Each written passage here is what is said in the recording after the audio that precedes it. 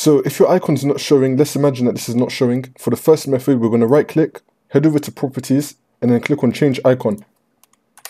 Then click on browse, head over to this PC, and then choose whichever drive Steam's installed on. It's probably on your C drive. So click on C drive, program files 86, scroll down, click on Steam, and then click on it again. Click on games, and then you want to select the icon that your game is. Click on open, and then click on OK, and press OK again. If the game icon is not here, then you want to head over to Steam, head over to your library, and then find the game, right click on it, head over to properties, and then head over to local files, and you want to verify the game files. This might take a while.